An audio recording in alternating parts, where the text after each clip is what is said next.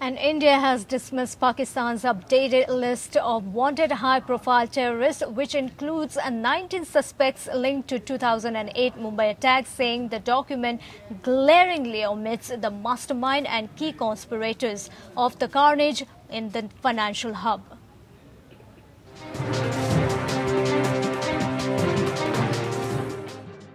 India has rejected Pakistan's latest list of terrorists involved in the 2611 Mumbai attacks, saying it glaringly omits the mastermind and key conspirators of the terrorist strike.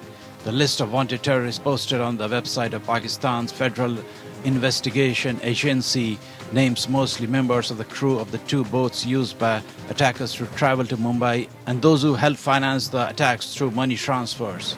Most of the 19 men are members of the Lashkar-e-Taiba. In a strongly worded reaction on the issue, the spokesperson in the Ministry of External Affairs, Anurag Srivastava, said India has repeatedly called on Pakistan to give up its obfuscation and dilatory tactics in discharging its international obligations in the trial of Mumbai terror attacks.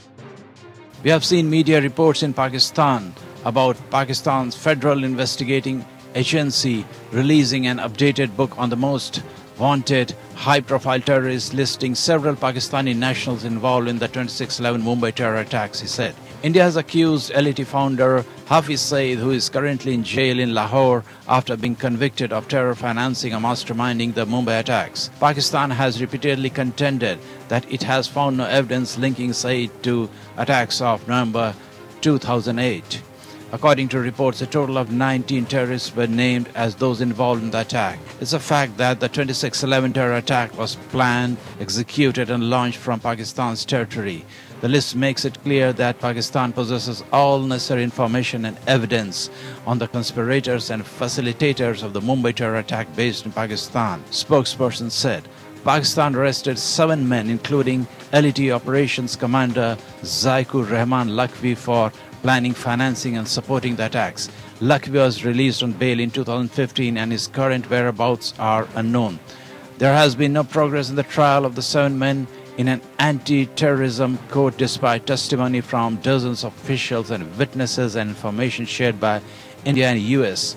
On November 26, 2008, a group of Pakistani terrorists sneaked into Mumbai through sea, arriving by boat from Karachi and went on rampage, carrying out coordinated attacks on the main Chhatrapati Shivaji railway terminus, the Taj Mahal Hotel, the Trident Hotel, and a Jewish center. A total of 166 people, including 28 foreigners, were killed in the nearly 60 hour assault. Bureau Report.